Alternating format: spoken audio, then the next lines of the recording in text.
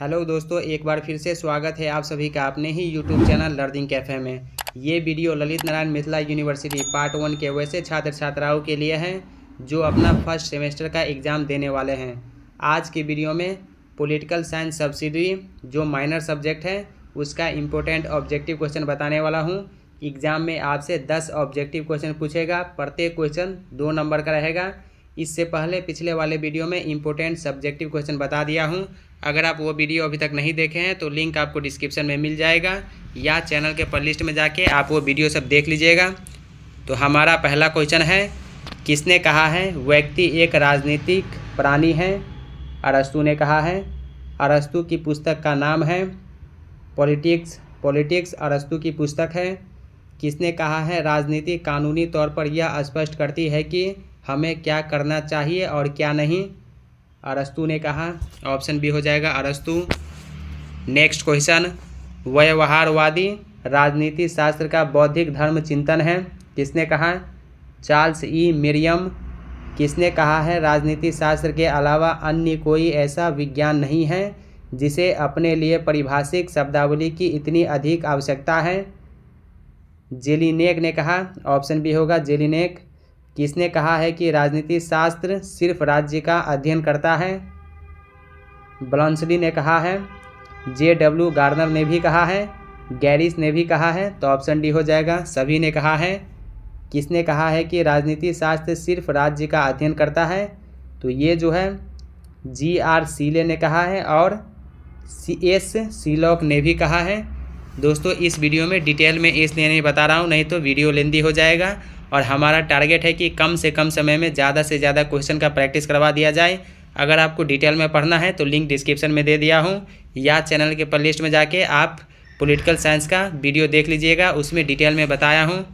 Question number eight किसने कहा है कि राजनीति, शास्त्र, राज्य और सरकार दोनों के अध्ययन से संबंधित है?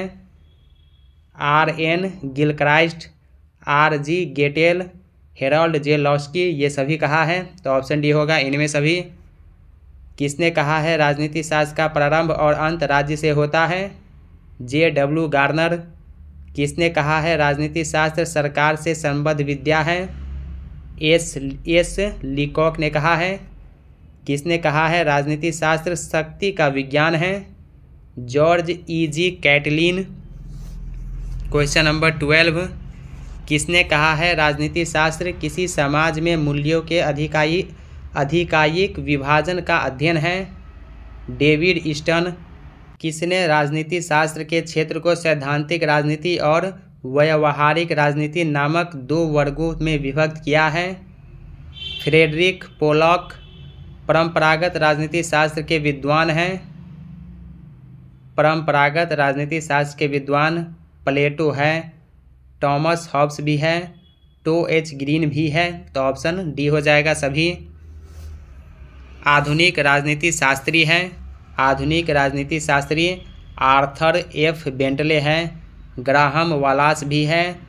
चार्ल्स ई मिरियम हैं। ऑप्शन डी होगा सभी। किसने कहा है, जब कभी मैं राजनीति विज्ञान शीर्षक के अंतर्गत प्रश्न पत्रों को देखता हूँ, तब मुझे प्रश्नों पर खेद नहीं होता, वर्ण शीर्षक पर होता है। तो ये किसने कहा? मेटलैंड ने कहा। राजनीति शास्त्र एक विज्ञान है, इसके पक्ष में निम्नलिखित कौन तर्क सही है? तो इसके पक्ष में ऑप्शन ए देखिए। प्रयोगात्मक विधि द्वारा राजनीति शास्त्र का अध्ययन संभव है तो ये सही है। इनमें इनमें भी इनमें भी भविष्यवाणी हो सकती है, ये भी सही है। इसमें विज्ञान की तरह पर्यवेक्षण विधि संभव है, ये भी सही है। तो ऑप्शन डी होगा, उपर्युक्त सभी। किसने कहा है? हम राजनीति में वैसा नहीं कर सकते, जैसा कि रसायन शास्त्र में एक अन्वेषक प्रयोग के समय करता है। लेविस ने कहा, उत्तर व्यवहारवादी क्रांति का श्रेय किसको है? डेविड ईस्टन को। इसके बाद व्यवहारवाद और उत्तर व्यवहारवाद से रिलेटेड इम्पोर्टेंट क्वेश्चन देखिए। डेविड ईस्टन द्वारा प्रतिपादित व्यवहारवाद का लक्षण नहीं है। कर्मनिष्ठ कर्मनिष्ठ विज्ञान व्यवहारवाद विशेष महत्व देता है। ये किस पर विशेष महत्व देता है? तो वैज्ञानिक दृष्टिकोण व मूल्य निरपेक्षता को। निम्न में से कौन सा लेखक राजनीति को मूल्यों के अधिकाधिक आवंटन के रूप में परिभाषित करता है? डेविड ईस्टन व्यवहारवादी अध्ययन मुख्यतः संबंधित होते हैं। राजनीतिक व्यवहार से प्रासंगिकता का सिद्धांत किससे संबंधित है? उत्तर वह, उत्तर व्यवहारवाद से? डेविड ईस्टन ने उत्तर व्यवहारवाद के कितने लक्षण बतलाए हैं? सात लक्षण, ऑप्शन ए होगा सात। उत्तर व्यवहारवाद का लक्षण नहीं है। तकनीक पर ज़ोर, तकनीक पर ज़ोर उत्तर व्यवहारवाद का लक्षण नहीं है। लक्षण जो व्यवहारवाद में तो है, किंतु उत्तर व्यवहारवाद में नहीं है, वह कौन सा है? मूल्य निरपेक्षता व्यवहारवाद राजनीतिक संदर्भ में व्यक्ति समूहों के व्यवहार का अध्ययन है। यह कथन जिस विद्वान का है, वो कौन सा विद्वान है? ब्लेयर कुलासा ऑप्शन ए होगा ब्लेयर कुलासा नेक्स्ट क्वेश्चन। व्यवहारवाद में जिस दो लक्षणों को जोड़कर उत्तर व्यवहारवादी आंदोलन का निर्माण किया गया है, वे कौन सा है? संगति और कर्म। निम्नलिखित में से वह विद्वान कौन सा है जो व्यवहारवाद और उत्तर व्यवहारवाद दोनों का प्रमुख प्रणेता माना जाता है? डेविड ईस्टन इसके बाद लोकतंत्र और अधिनायक तंत्र से रिलेटेड क्वेश्चन। निम्नलिखित में से कौन सी लोकतंत्र की विशेषता है? लोक प्रभुता में विश्वास, लोकप्रिय नियंत्रण, बहुमत का शासन तो ऑप्शन डी हो जाएगा उपर्युक्त सभी। आरंभ संबद्ध है, ये किससे संबद्ध है? अल्पतंत्र से संबंध है। नेक्स्ट क्वेश्चन निम्नलिखित में से कौन सा तानाशाही का लक्षण नहीं है? शक्ति का दुरुपयोग, शक्ति का दुरुपयोग यह तानाशाही का लक्षण नहीं है। लोकतंत्र का अवगुण है। लोकतंत्र का अवगुण, वोट बैंक की राजनीति। निम्नलिखित में से कौन सा अधिनायक तंत्र का लक्षण नहीं है? उत्तरदायी सरकार, लोकतंत्र में अंतिम शक्ति निहित होती है। जनता में क्वेश्चन नंबर सेवन लोकतंत्र की सफलता के लिए कौन सा तत्व आवश्यक नहीं है? पेशेवर, राजनीतिज्ञ, आधुनिक विश्व के अधिकांश राज्यों में किस प्रकार का लोकतंत्र प्रचलित है? समाजवादी लोकतंत्र, निम्नलिखित में से किसने प्रत्यक्ष लोकतंत्र की वकालत की है? रूसों ने, लोकतंत्र में अल्पसंख्यकों के प्रतिनिधित्व की बात पर किसने बल दिया है?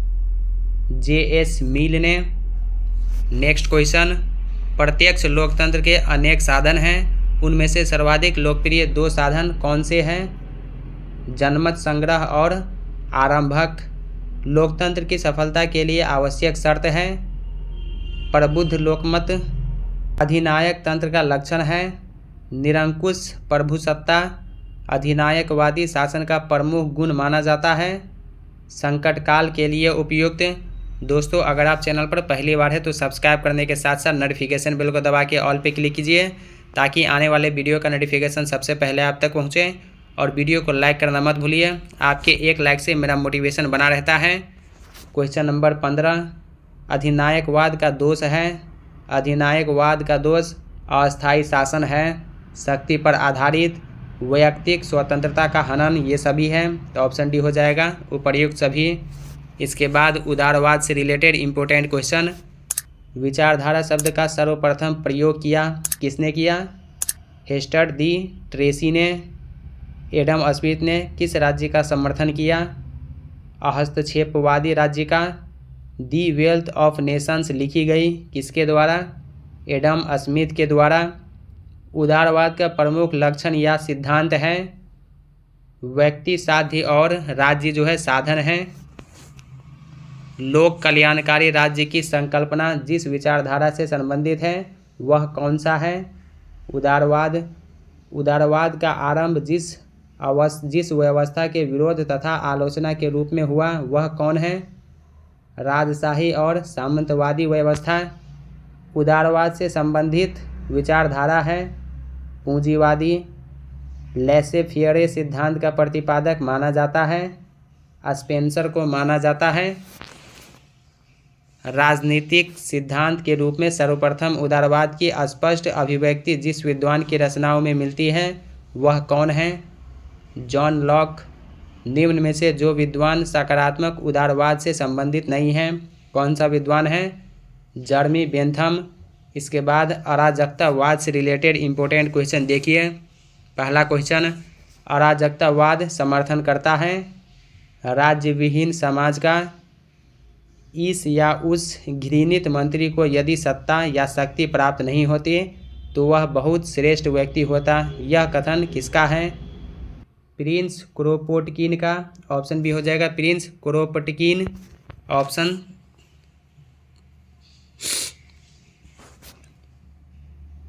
Prince Kropotkin का ऑप्शन भी हो जाएगा। Prince Kropotkin, next question. राज्य की भूमिका पर सर्वाधिक आपत्ति निम्न में से किस राजनीतिक दर्शन में की गई है? अराजकतावाद में, निम्नांकित में कौन सा लक्षण अराजकतावाद से संबंधित नहीं है? राज्य एवं आवश्यक बुराई, कौन अराजकतावाद का समर्थक नहीं है? जे एस मिल, अगला क्वेश्चन, अराजकतावाद समाज की वह स्थिति है जिसमें केवल व्यक्ति के स्वयं पर शासन को ही न्यायोचित रूप में मान्यता प्राप्त होगी। यह कथन है, हक्सले का ईसाई अराजकतावाद जिस विचारक के विचारों को कहा जाता है, वह कौन है? टॉल्स अस्टॉम विधि निर्माण लगभग सभी देशों में धनवानों के पक्ष में तथा निर्धनों के विपक्ष में होता है। यह कथन है, विलियम गोडविन का। इसके बाद राज्य से रिलेटेड क्वेश्चन देखिए। राज्य की सर्वोत्तम परिभाषा किसकी है? जे डब्ल्यू गार्नर, राज्य अल्पसंख्यक या बहुसंख्यक व्यक्तियों का ऐसा समुदाय है जो किसी प्रदेश के एक निश्चित भूभाग में रहता हो, जो बाह्य नियंत्रण से मुक्त अथवा प्राय मुक्त हो, जिसका एक संगठित शासन हो तथा जिसके आदेशों का पालन नागरिकों का विशाल समुदाय संभवतः करता हो, यह परिभाषा किसकी है? जे डब्ल्यू गार्नर की। निम्नलिखित में राज्य के मूल तत्व कौन से हैं? राज्य के मूल तत्व जनसंख्या है, प्रदेश भी है, सरकार एवं संप्रभुता है, सरकार एवं संप्रभुता भी है तो ऑप्शन डी हो जाएगा सभी। नेक्स्ट क्वेश्चन किसने आज्ञाकारिता को राज्य के मूल तत्वों में शामिल किया? W W Willoughby J W Garner के अनुसार राज्य के कितने आवश्यक तत्व हैं? चार एक आदर्श राज्य की जनसंख्या पाँच हज़ार चालीस होनी चाहिए, यह किसका विचार है? प्लेटो का।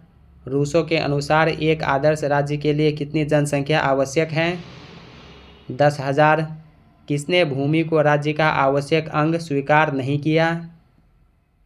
Duguit, J R Wiley W W Willoughby, ये सभी। तो ऑप्शन डी हो जाएगा सभी ने। Next question. किसने भूमि को राज्य के लिए अनिवार्य बताया है? Woodrow Wilson, Bluntschli, J W Garner, ये सभी भूमि को राज्य के लिए अनिवार्य बताया है। किसने कहा है कि मनुष्य समुदाय निर्माण करने वाला प्राणी है? अर्नेस्ट वारकर, राज्य और सरकार परस्पर संबंधित हैं। कैसे संबंधित हैं? तो ये दोनों एक दूसरे की सहायता करते हैं। संप्रभुता का अर्थ है संप्रभुता का अर्थ राज्य आंतरिक और बाह्य रूप में सर्वोच्च और नियंत्रण से मुक्त है। संयुक्त राष्ट्र की सदस्यता के लिए आधुनिक समय में कौन सा आवश्यक कौन सा तत्व जो आवश्यक तत्व है? तो मान्यता, पंद्रह अगस्त उन्नीस सौ सैंतालीस के पहले भारत था। एक गुलाम राज्य। किन विद्वानों ने राज्य को एक कल्याणकारी संस्था के रूप में स्वीकार किया है? टलथूसियस, ऑप्शन बी हो जाएगा टलथूसियस। नेक्स्ट क्वेश्चन राज्य के व्यक्तिवादी सिद्धांत का आशय है। राज्य एक आवश्यक बुराई है। राज्य के व्यक्तिवादी सिद्धांत के प्रमुख समर्थक हैं। Jeremy Bentham, Herbert Spencer, Harold J Laski ये सभी राज्य के व्यक्तिवादी सिद्धांत के प्रमुख समर्थक हैं। तो ऑप्शन डी हो जाएगा सभी। नेक्स्ट क्वेश्चन राज्य का आदर्शवादी सिद्धांत राज्य को किस रूप में मान्यता देता है? एक सर्वोच्च नैतिक संस्था के रूप में राज्य के आदर्शवादी सिद्धांत के प्रमुख समर्थक हैं।